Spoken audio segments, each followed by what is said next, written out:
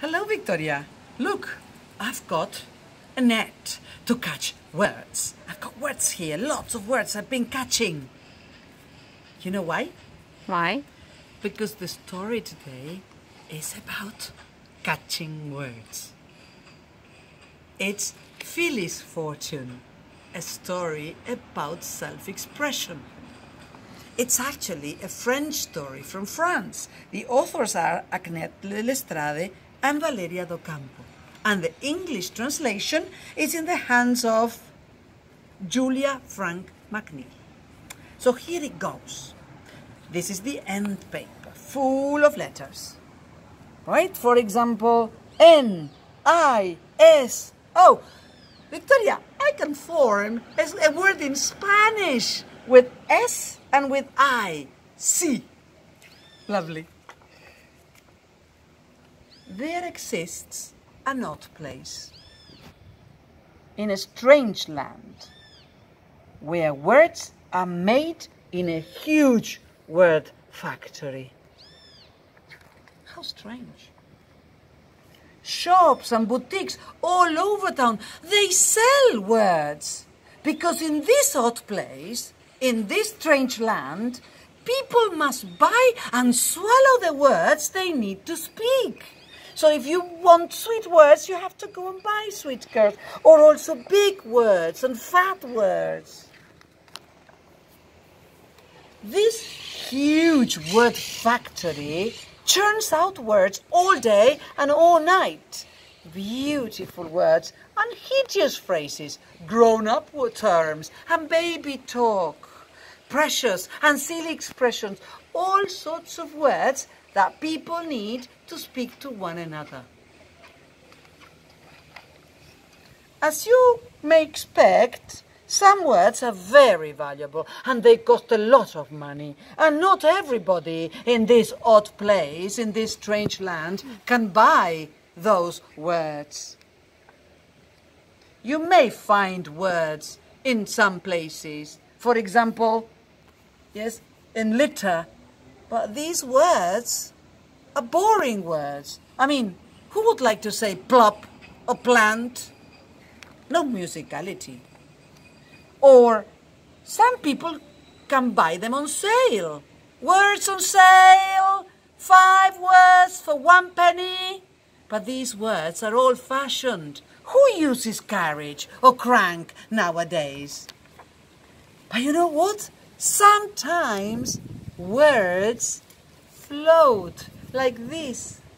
And so you can catch them with a net. And that is what Phileas does with his friends. And so they catch words like daisy or words like sugar and they keep them. And then at dinner time they tell their parents those words.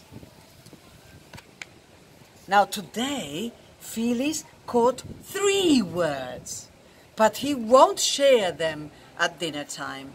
No, he's keeping them for Sibel because tomorrow is her birthday. This is Sibel, his neighbor.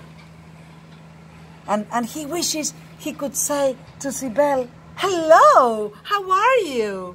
Or he wishes he could say, Happy birthday. And he really, really wishes he could say, I love you. But he doesn't have those words. Instead, he just smiles at her. Up at the top of the stairs, Phileas sees Oscar.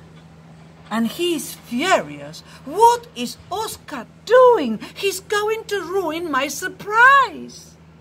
Oscar does not smile at Phileas. Instead, he turns to Sibel and Bert blurts out, I love you, Sibel. When we grow up, I know we will marry. oh. Wow. Phileas thinks those words must have cost a fortune. My words are so ordinary and so simple. What will Sibel think? Phileas takes a deep breath and he finds all the love that he's got in his heart and he utters his words. Off they float to Sibel and they are like beautiful butterflies. His three words, three beautiful butterflies. Cherry, ruby, chimes.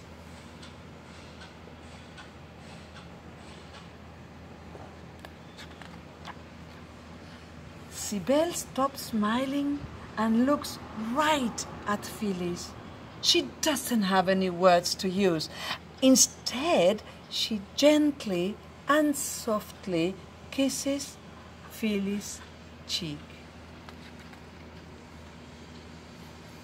Phileas has one more word left. He captured it a long time ago in a butterfly net. He has been saving it all this time. He looks at Sibel right in the eyes and he says, Again! And that's the end of the story.